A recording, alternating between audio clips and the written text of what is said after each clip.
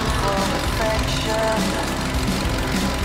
But keep it close or you'll, keep it close or you'll lose yourself.